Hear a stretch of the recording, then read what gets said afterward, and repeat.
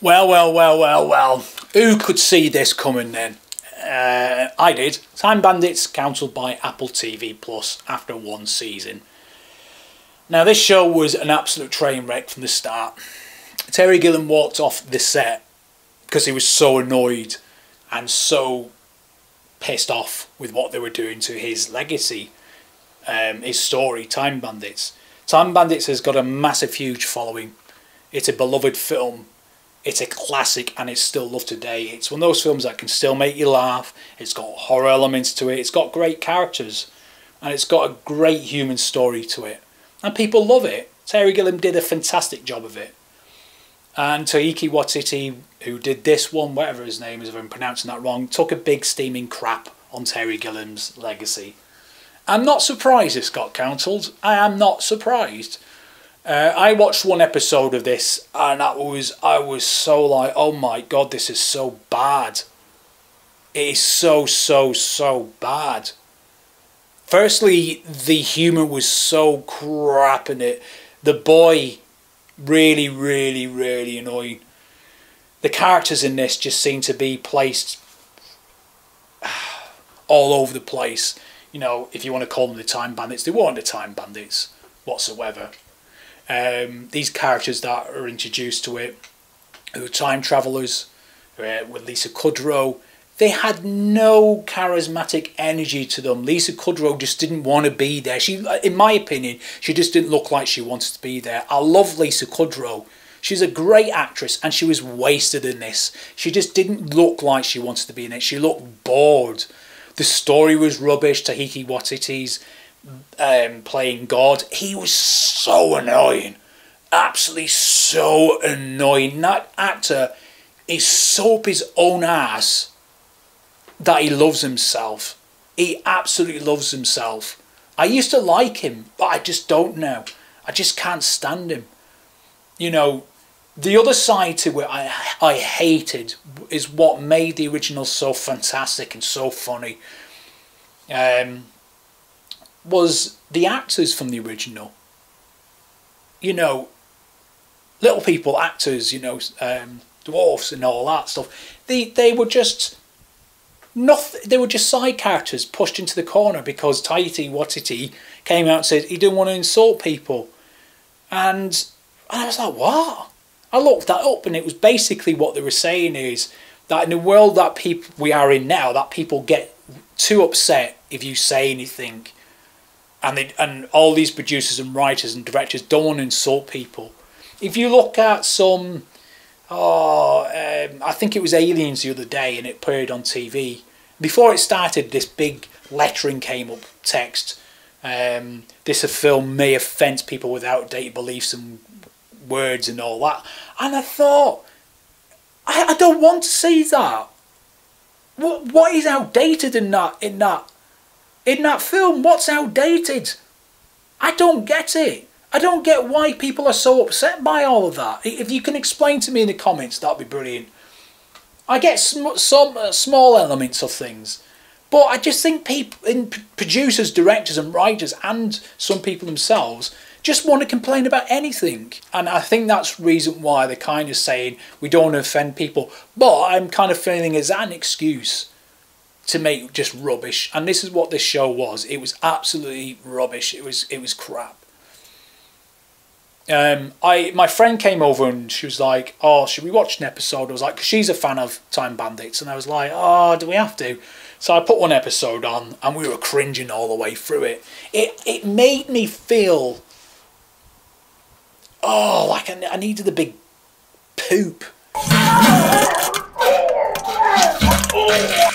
It was one of the episodes where the kidneys and he, they go back in time and he's got to make all these characters in the past fall asleep and he's going blah, blah, blah, history. And I wanted to punch him because it was so annoying. And, and I feel bad for the actor. It's not his fault. I'm sure he's a great actor but his character was so annoying so because maybe it's because the story itself was was so badly written and it was so let's do this let's do that. The comedy just didn't work in this like each character had this kind of very dead comical line to say and it just never went anywhere like the special effects were just some are alright, but God Almighty, Taika Waititi playing God, he was so bad. The guy who played, you know, the devil, he was so bad. Oh God, it was so annoying. And I just couldn't stand the producers or directors behind this because it was a travesty. Um, and then my mate says, "Should we watch should we try and watch another episode to see if it gets any better? When it won't, so we watched half of an episode and we went, oh my god, just turn it off, turn it off quick. And we had to put something else on. I think it was Police Academy that we put on. And I just think, I just think, why, why, why do you keep remaking stuff? But not just remaking it, but pulling your pants down and taking a big dump because that's what Taiki Watiti and whatever his name is. I keep saying whatever his name, if that's pronounced wrong, please let me know. Um, but he, they took the pants down, and it's it's almost like saying to Terry Gilliam, "We don't care. We do not care about your your legacy, your beloved film Time Bandits. We don't care. We've got so much money to burn that we don't care." we're going to do this and do and this and this with diverse characters. No, we're not going to give the characters that made the original so fantastically great. The screen time that they're going to get is in the back. You know, little people pushing the back. That's an insult, like I said in my last review to Time Bomb. That's an insult. These characters were so boring. You put these characters in that just were kind of very diverse characters, no substance not character driven, no emotional attachment to anything but being there in the screen for a few seconds and saying blah blah blah blah blah blah blah blah blah like that kid. And I, I feel bad for Lisa Kudrow. I like you know Terry Gilliam walking off set. I would have loved to see that, and I bet anything he's clapping at this, you know, thinking good. He saw it coming. He saw it coming miles away a thousand miles. He knew what was going to happen. He knew. His name is not attached to it. He doesn't want to be attached to this pile of rubbish, and I'm glad it got cancelled. I hope it's lost lots of money. The reason for that is maybe it will give them some time to think and kind of go, right, it has lost lots of money. What happened? How can we change this to make it better?